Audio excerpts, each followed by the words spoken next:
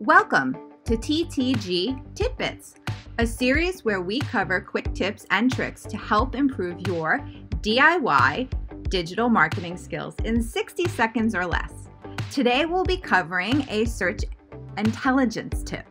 So, this is actually an old school trick. Uh, what you do is you type in S-I-T-E colon and then your domain name exactly as it is. You'll see mine does not have the www. Hit enter and this will show you what Google is indexing in its algorithm. So it's showing me all my pages, any assets, and how many I have.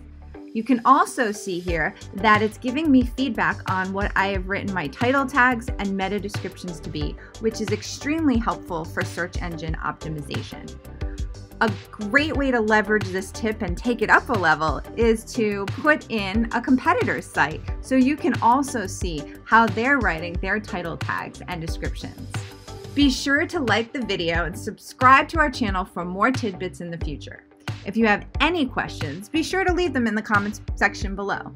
Thanks for watching.